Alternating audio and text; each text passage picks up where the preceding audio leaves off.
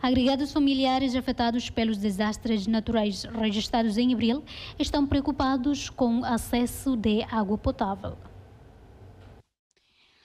Oito famílias afetadas pelos desastres naturais ainda se encontram no centro de acolhimento em Metialto. Estas compõem de 59 pessoas, desde as quais são as crianças. Felizmina da Costa disse que as vítimas enfrentam a falta de água. Antes, a equipa de bombeiro apoia-nos diariamente com água potável. Contudo, esta fornece atualmente água uma vez por semana. Contactamos com o secretário de Estado de Proteção Civil e orientou posteriormente a equipa de bombeiros para fornecer diariamente a água a este centro. Porém, desde sexta-feira, temos dificuldade de acessar ao serviço.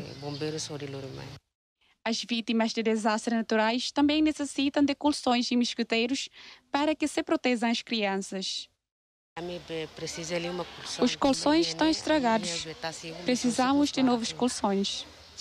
Estamos perto do mar, portanto, tem muitos mosquitos.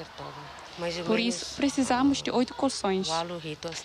As crianças usam todas as noites creme de anti-mosquito mas tenho medo de que estas sejam contraídas com dengue e malaria.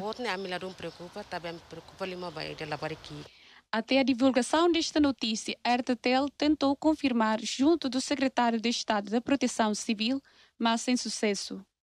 Verônica Barros e Bento Martins na reportagem.